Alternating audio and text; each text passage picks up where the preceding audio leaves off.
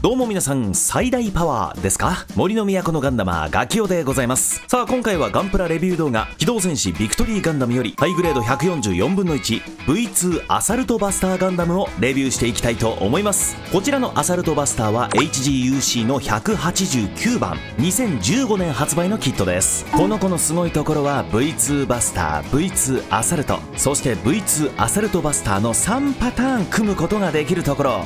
それなのにお値段がとてもリーズナブル素晴らしいねそんなわけで今回は V2 アサルトバスターレビューしていくさあ、まずはランナーを見ていきましょう。ランナー自体はこれより前に発売された V2 ガンダムのランナーにアサルトパーツとバスターパーツのランナーが新規で付属しております。ゴテゴテしてるイメージがあるんですがそこまでパーツ数が多いわけではございません。で通常の V2 ガンダムも組むことができるんですがビームサーベルやビームシールドのクリアパーツが付属しておりませんので完全再現はできない感じね。はいそんなわけで完成したのがこちら。機動戦士ビクトリーガンダムよりハイグレード144分の 1V2 アサルトバスターガンダムです。見てください。劇中再現度の高い素晴らしいプロポーションを誇ります。色分けもとても良好。アサルトパーツのゴールド部分は成型色で再現されていますがメッキパーツとかではないんすな。はい。後ろから見るとこんな感じ。バスターパーツとかには細かいところにシールが使われてますね。造形もいい感じ。でねバスターパーツ自体は結構単純な接続なんですがこの部分この T 字の部分がすごく繊細。気をつけて動かさないと破損してしまう恐れがありそうです。で合わせ目ですが V2 と出るところは一緒っすね。こういった肩の部分だったりあと脚部のこういったライン。あとは光の翼部分っすかね。あとバスターパーツにも合わせ目出てしまいますね。まあでもここは処理しやすいかな。それでは稼働もろもろを見ていきましょう。ではまず頭部です。頭部の造形は V2 と一切変わりはございません。細かくていいっすよね。そして稼働も特に気になるところはございません。特に干渉せず動いてくれますよ。頭部も側面のこの部分に合わせ目が出ますね。続いて腕部です。腕部の接続はこのようなボールタイプジョイント。V2 のレビューの時にも言ったんですがこの部分のグレーのパーツここがいい仕事をします。前方にはこのぐらいまで引き出せましてはい肩はこの角度まで上がってくれます。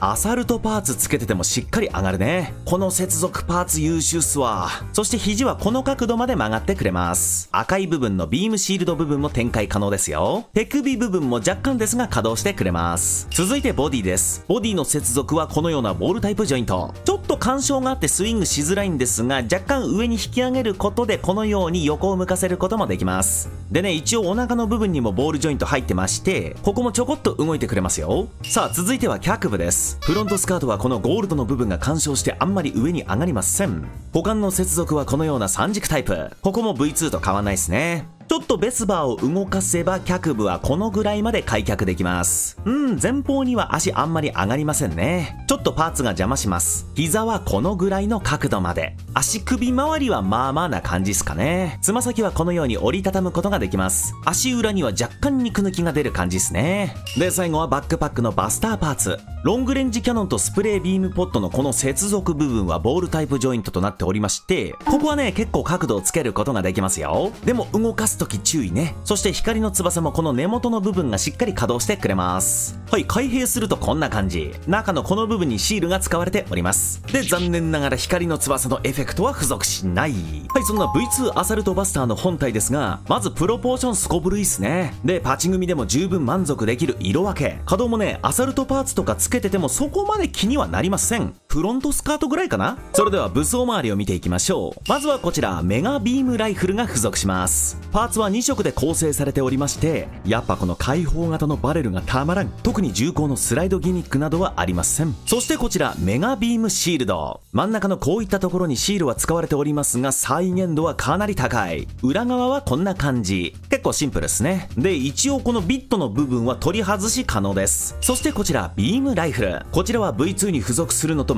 全く一緒です。そしてこちらビームサーベルのグリップ部分のみ付属します。残念ながらクリアパーツが付属しない。そしてこちら V2 と同じようにコアファイターも付属しますよ。まあモトラット艦隊に特艦して自爆するごっこに使いましょう。はい装備させるとこんな感じ。めちゃくちゃかっこいいぞアサルトバスター。こんなにゴテゴテしているのにポージングはサクッとできちゃう。今やゲームやいろんな媒体に出てくるこの V2 アサルトバスターですが本編にはこの状態では登場してない。ないんすよね。えー、こちらは G ジェネレーションネオとかのスペシャルアタック。V2 版のフルバーストね。正直シャレにならん火力。あでちょっと残念だったのがこのベスバーの裏側。ここ肉抜きがっつりありますね。ちょっとチープには見える。でですね先ほども言いましたがこの子は V2 アサルトと V2 バスターにも組み替えることができるんですができるんですが説明書をご覧ください。選んで組み立てます。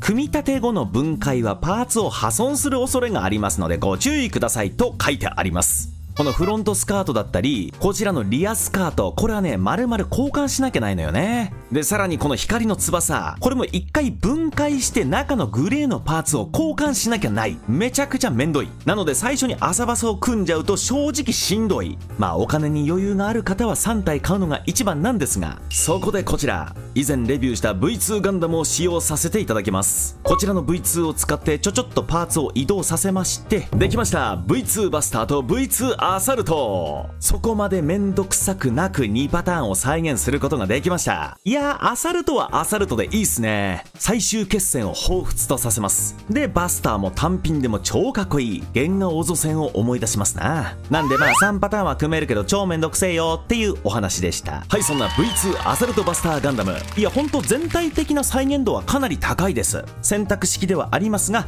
バスターアサルトアサルトバスター3パターン組むことができる。かなり楽しめるキットっすな。